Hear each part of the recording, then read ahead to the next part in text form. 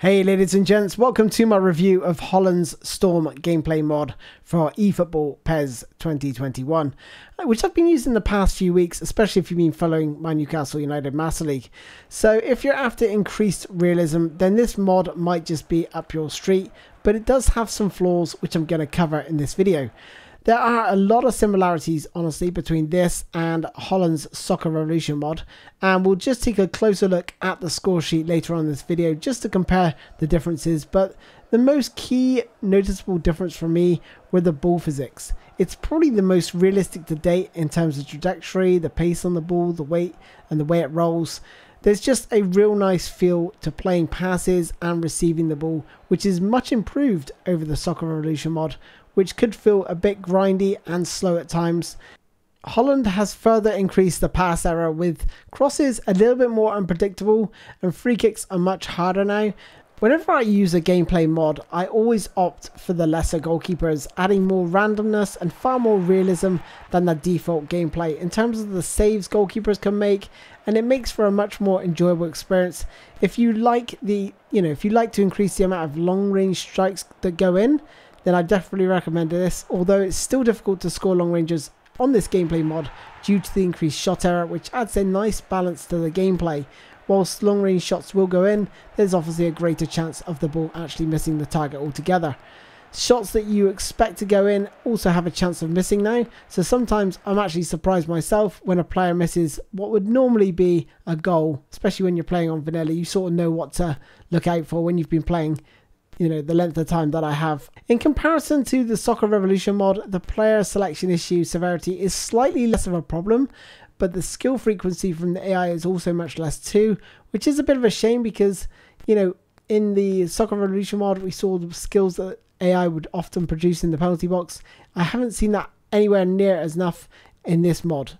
Now, this next point I want to try and get across is a little bit hard to explain because it's one of the bigger issues, but at the same time, it's a great thing as well. So what happens is, is you'll receive these extended and new animations it brings out when two players collide or enter a physical battle with each other. And these new extended animations are great when two players collide in isolation, which you're going to see here. But it's not great when there's a congested midfield and everyone's stumbling into each other, creating a bit of messy play. To be honest, it's not all that frequent, but I think I prefer it without these extended animations to be honest. But these random physical battles can have a real nice impact as you're going to see here as Nkunku holds off his man and then slides along the floor to finish at the near post. The player and AI reaction time is sometimes worse too in players reacting to loose balls, especially on legend difficulty, which can make the game a little bit frustrating in all honesty. The referee accuracy is the same, and whilst improved from vanilla, it still isn't perfect as some dubious decisions go uncalled for. This mod definitely opts towards realism, but I still don't think it's quite as good as Soccer Revolution in that regard. And in my opinion, Holland's All-in-One remains the best gameplay mod to date if you're looking for a nice balance of realism and fun arcade-like gameplay. It's it's a very very nice balance in between two. And that one is still still by far the best in my opinion. And now let's just take a look at the mod review score sheet just to see how this compares.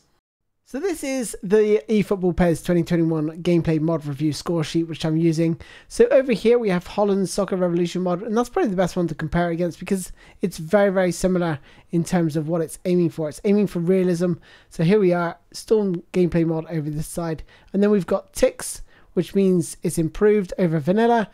Yellow means it's the same as as vanilla or similar and red means it's worse than vanilla.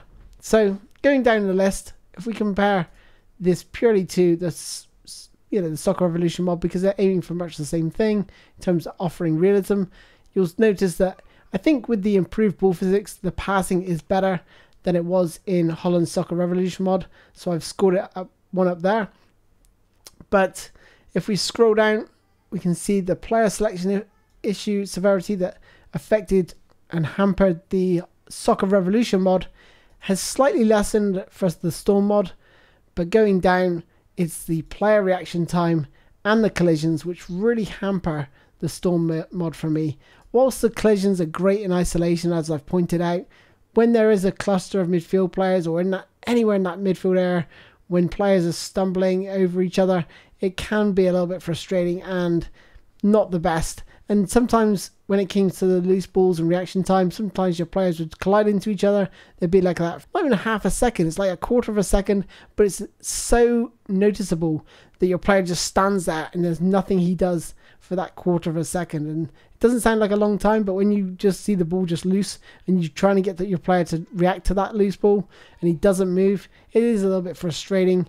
I would say it's aimed at a more realistic crowd, but I'm just going to give it an 8 out of 10 simply for the fact that it's not as good as Soccer Revolution mod, simply for the fact those collisions and the player reaction time being worse.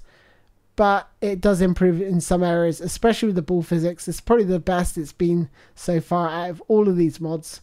But for me, like I said, the Holland's all in one mod is still king at the minute but hopefully he's going to release another mod soon and we can review that one as we go if there's any mods out there that you want me to review or check out then just drop a comment below and I'll be sure to review that as well. Anyway, that's all from me, ladies and gents. Thank you for joining me. I look forward to seeing you guys next time. Take care.